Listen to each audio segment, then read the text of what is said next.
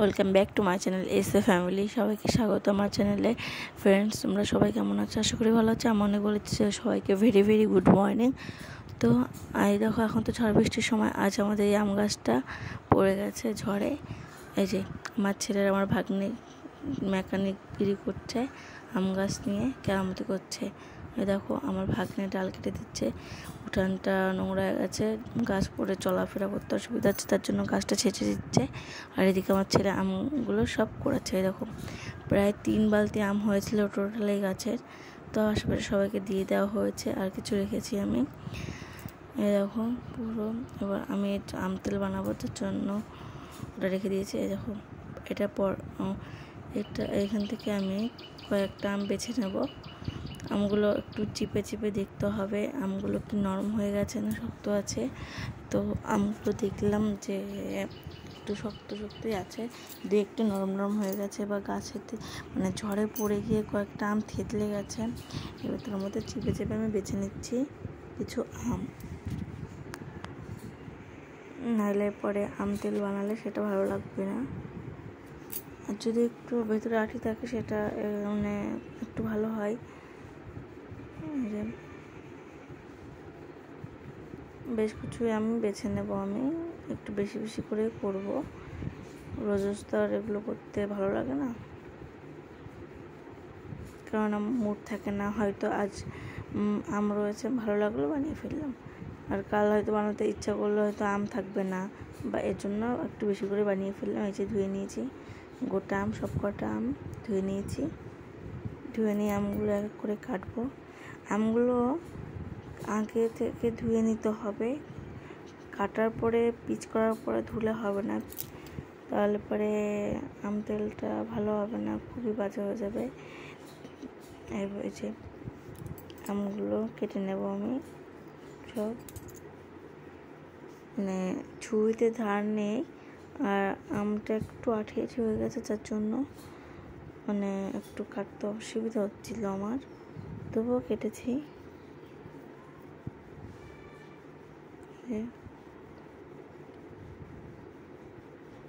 আমগুলো বেশ বড় বড়। এবার যে যার ইচ্ছা মতন, সুবিধা মতন পিচ করতেই পারে, তাতে কোনো সমস্যা নেই।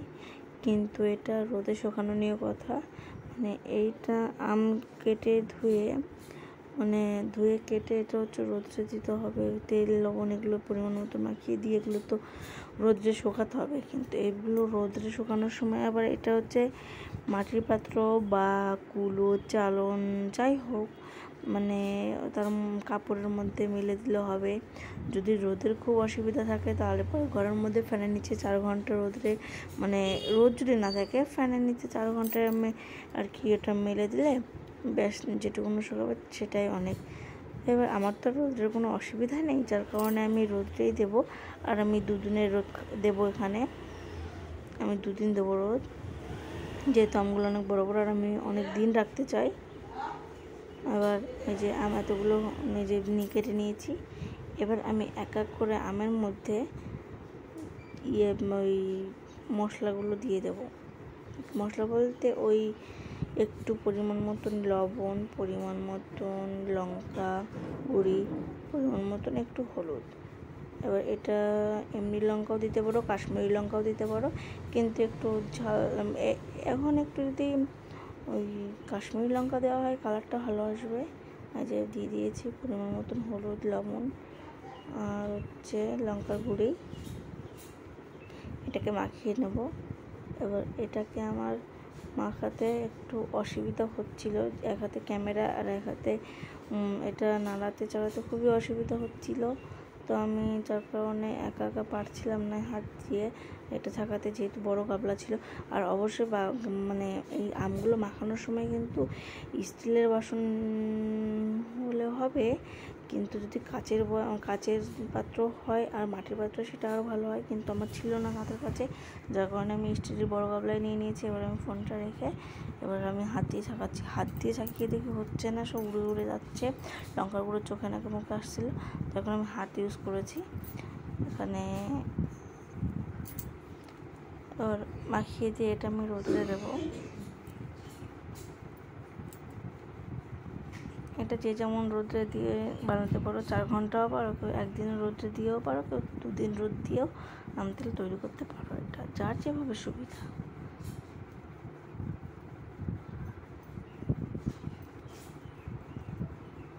এবার ছাদে ছাদে দিই। এবার আমি ছাদে দিয়ে দেবো এগুলো মাখানো হয়ে গেছে।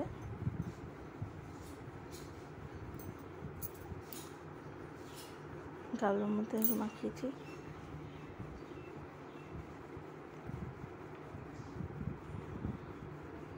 রোদ্রে দেওয়ার আমার এই যে মানে আমার তো রোদ্রের অভাব নেই, আমি ছাদের মধ্যে মেলে দিয়ে গেছি, চালানোর মধ্যে।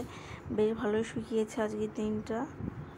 তো আমি আজকের দিনের আজকের দিন রোদটা দিয়ে দেবো না। আমি কালকের রোদটাও মোটামুটি বারোটা বেলা বারোটা অবধি যে রোদটা খাবে সেই অবধি আমি রোদে রাখব। এবার পরের দিন আমার বারোটা অবধি রোদ দিয়ে এই অবস্থা আমগুলো। তো এবার আমগুলোকে আমি এবার আমগুলোকে আমি আম তেলের জন্য মশলাপাতি রেডি করে নেব। এদিকে নিয়ে নিয়েছি আমি হচ্ছে মশলার জন্য পাঁচফোড়ন নিয়ে নিয়েছি। এদিকে পাঁচটা শুকনো লঙ্কা নিয়ে নিয়েছি, কিছুটা জিরে নিয়ে নিয়েছি, এদিকে লাল সর্ষে নিয়ে নিয়েছি, সাদা সর্ষে নিয়ে নিয়েছি, এদিকে মেখে নিয়েছি। আমি সবই কিন্তু এক চামচ করে নিয়েছি, এদিকে এই যে ধনে নিয়ে নিয়েছি। এবার সব মশলাগুলো আমি হালকা করে, হালকা আছে, এই ভেজে নেব। এটা মানে পুরোপুরি ভাজলে হবে না, এটা মশলাগুলো জাস্ট হালকা মানে নরম নরম ভাবটা আছে, সেই ওভেনে দিলে সেই নরম ভাবটা থাকবে না আর কি। যার জন্য আমি দিয়ে দুই এক নাড়া দিয়ে আর কি নামিয়ে নেব। পুরো স্লোতে রাখতে হবে, গ্যাসটা সব দিয়ে দিয়েছি এক এক করে মশলাপাতিগুলো।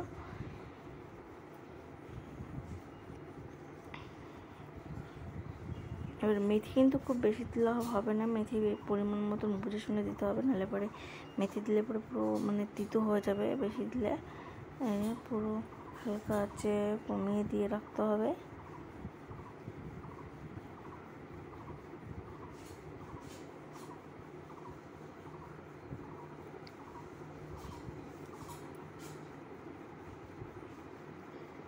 আচ্ছা এবার একটু নাড়িয়ে চেড়ে নেব।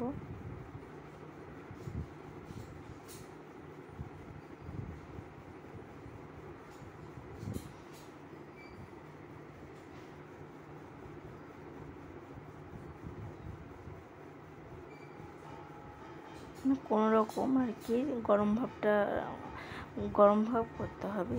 বেশি ভাজলে হবে না কিন্তু বারবার বলছে।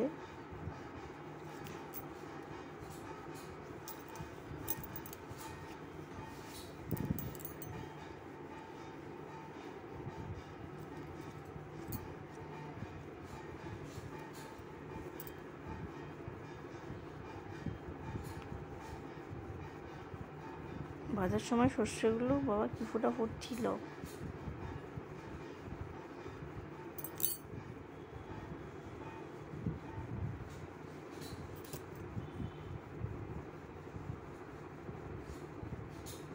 এরকম কি ফোটা ফুটছিল।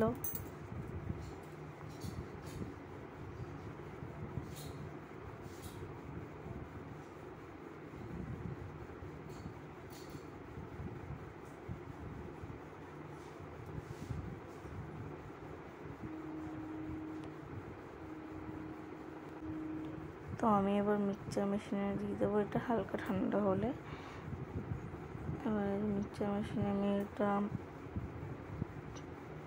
গুঁড়ো করে নেব। জল দেওয়া যাবে না, ঠিক আছে? শুকনো শুকনো শুকনো গুঁড়ো করতে হবে।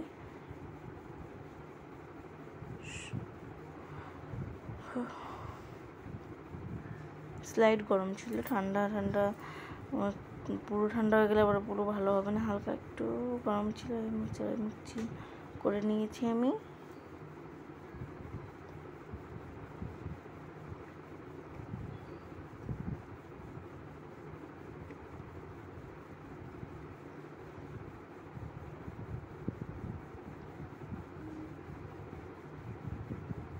খুলতে পারছি না, এত শক্ত হয়ে গেছে এটা, আটকে গেছে। খুলতে পারছিলাম না, এক হাত দিয়ে বলছি না, এক হাত দিয়ে ক্যামেরার, এক হাত দিয়ে এগুলো করা ভীষণটা। তারপর আবার বাড়িতে সবাইকে কম বেশি ভয় পেয়ে ভাবি, কে চলে আসলো, কে চলে আসলো, এই ভয়টা থাকে। তো দেখো আমার মশলা রেডি এই যে আমি, আমের মধ্যে এবার এক এক করে সব মশলাগুলো দিয়ে দেবো। দিয়ে দিলাম এটা। আবার দিয়ে দেবো হচ্ছে এর মধ্যে এবার এটাকে ভালো করে মাখাবো। ভালো করে মিশিয়ে নেব আমের সঙ্গে মশলাটা।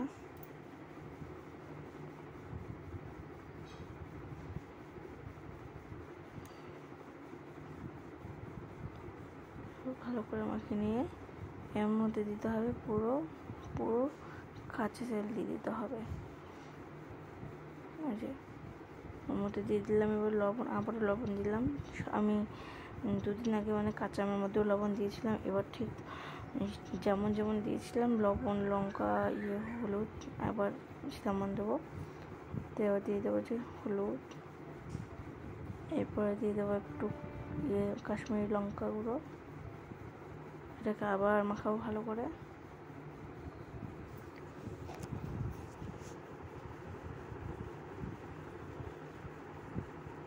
এর মধ্যে যদি কেউ চাও যে, না, কাঁচা তেল দেবো না, আমি হালকা গরম করে দেবো হ্যাঁ সেটাও দিতে পারো। আমি এখানে গরম তেল দিইনি, আমি এখানে কাঁচা তেল দিয়েছি।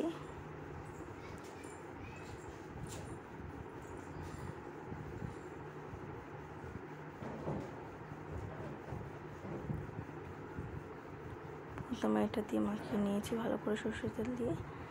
মাখিয়ে নেওয়ার পরে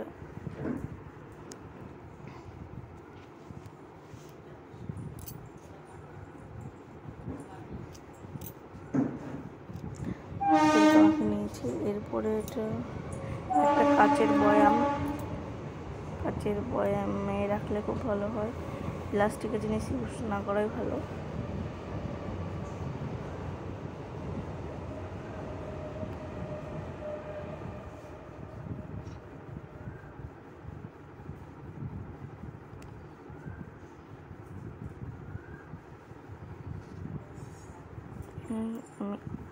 আমার কাছে কাচের বয়াম ছিল না, যার কারণে আমি আপাতত একটা ভালো প্লাস্টিকের, ভালো আর কি একটা কৌটা নিয়ে নিয়েছি। তার মধ্যে রেখেছি আপাতত। অবশ্যই বাজারে গেলে বাজার থেকে নিয়ে আসব। আমার যাওয়া হয়নি এবার এবার সবার শেষে সর্ষের তেল, কিছুটা কাঁচা সর্ষের তেল ঢেলে দিলাম। এরকম করে আবার দুদিন রোদ দেবো, তারপরে আবার দুদিন পরে গিয়ে আবার আরও কাঁচা তেল দেবো ওর মধ্যে। আর যদি মনে করো শুকনো লঙ্কা ফোড়ন, আমি দুটো দিনতে শুকনো লঙ্কা ফোড়ন দিয়ে আমি মানে পুরি ওর মধ্যে দিয়ে দিয়েছি, তাহলে সেন্টটা খুব ভালো আসবে। ব্যাস।